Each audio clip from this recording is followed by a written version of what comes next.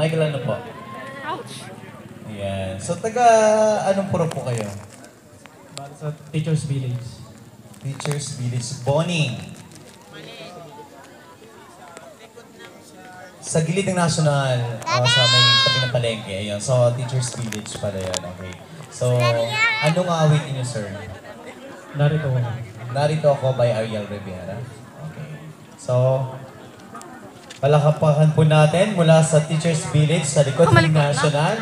Si sir, ang kanyang awitin ay Narito Ako, popularized by Ariel Rivera.